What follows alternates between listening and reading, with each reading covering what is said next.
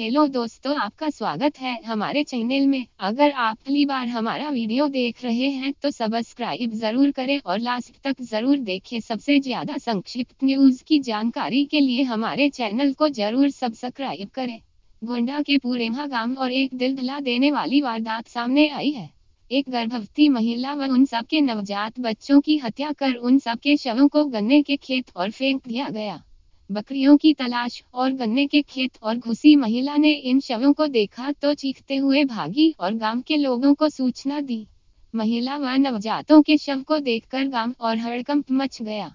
ग्राम प्रधान ने इसकी सूचना पुलिस को दी तो धानेपुर थाने की पुलिस मौके पर पहुँची। महिला की पहचान नहीं हो सकी है। पुलिस ने शवों को कब्जे और लेकर पोस्टमार्टम के लिए भेजा है।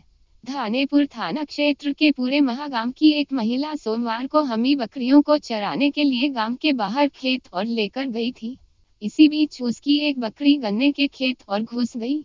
महिला के मुताबिक वह हमी बकरी की तलाश और गन्ने के खेत और गई तो उधर उसने एक महिला का शव पड़ा देखा।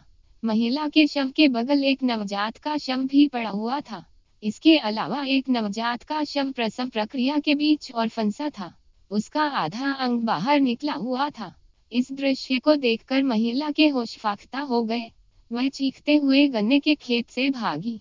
उसकी चीख सुनकर आसपास के खेतों और मौजूद ग्रामीण दौड़े तो उसने खेत के बीच और शव पड़े होने की जानकारी दी। थानाध्यक्ष ने बताया कि पोस्टमार्टम रिपोर्ट से ही मौत के कारणों का पता चल सकेगा।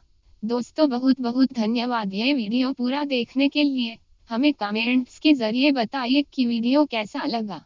लाइक शेयर और सब्सक्राइब ज़रूर करें।